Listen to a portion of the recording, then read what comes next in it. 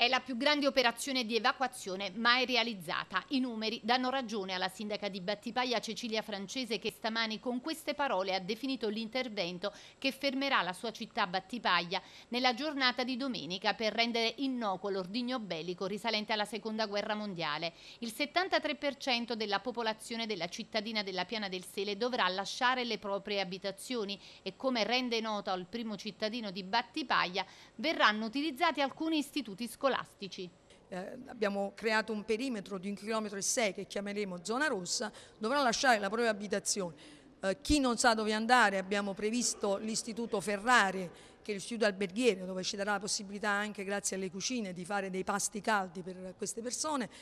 se riempiamo l'istituto Ferrari che può accogliere 2500 persone, abbiamo preparato l'istituto Velella e poi ci sarà il Sandro Penna dove eh, metteremo 100 letti con materassi e con un presidio medico eh, e paramedico, tutti gli effetti proprio per l'assistenza di, di, persone che sono allettate, persone che sono con sacche, insomma un dispiego di forze non indifferenti. Eh, questa, questa organizzazione ovviamente non lascia dall'oggi al domani, ci stiamo lavorando da mesi, ci stiamo lavorando da mesi, grazie a tavoli convocati qui in prefettura e non so se l'ho detto ma lo ripeto perché veramente è stato fondamentale il ruolo della dottoressa Bevilacqua in tutto ciò. In questo tavolo si è seduto il Comune, si è seduto la Protezione Civile, eh, regionale e nazionale, eh, l'esercito, il ventunesimo eh, battaglione del, eh, di Caserta, eh, l'esercito, si è seduto l'ANAS, si è seduto la provincia, eh, insomma tutti coloro coinvolti in questa grande operazione e ovviamente l'Enel.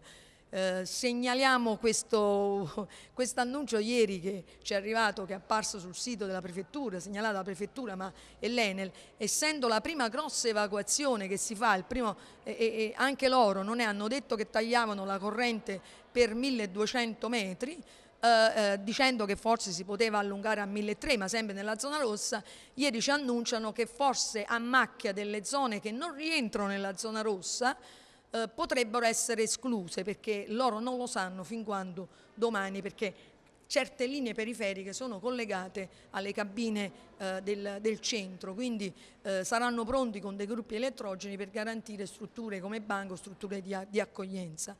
Eh, quindi veramente è, è, una cosa che eh, a, noi speriamo che passi presto e che passi nel migliore dei modi perché oramai eh, gli uffici eh, sia nostri ma sia della prefettura siamo tutti intenti per questa grande operazione. Operazione così, così vasta che voglio dire, eh, viene fuori perché nel 2015 sono cambiate le regole, le leggi, quindi l'Europa impone questo tipo di evacuazione ma ovviamente le, le, condizioni dove loro fanno le prove sono diverse dalle condizioni nostre, per cui fanno scoppiare sta bomba e si vede che cosa? Che l'onda d'urto arriva a 1,6 km, che le schegge arrivano a 1,6 km, ma ovviamente noi abbiamo una serie di palazzi nella, per cui comunque noi ci dobbiamo adeguare a quelle che sono norme che non le impone il comune, io voglio dire per chi ci ascolta e per chi pensa che è una disposizione del sindaco, noi stiamo eseguendo degli ordini che vengono eh, praticamente dall'alto, ma dall'Europa stessa, dalle normative che dire, la prefettura deve garantire che tutto funzioni bene e che si rispettino le regole.